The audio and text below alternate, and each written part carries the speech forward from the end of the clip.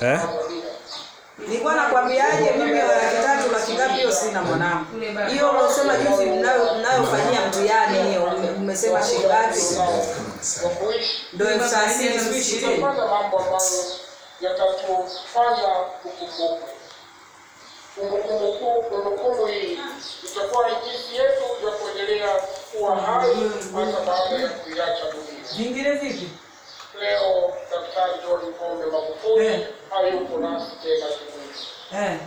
lakini bado anaendelea kuwepo kati yetu kwa vile Eh. wakati alipokuwa hai yeye amependa kumbukumbu za safari aliyoshirikiana nayo na watu wengi. Eh. Wengine hao ni sisi wote. Nataka niseme Ah, hivyo mwanangu achana navyo. We sikia, hivyo achana navyo. Tafuta vitu kulingana na uwezo wetu ulivyo.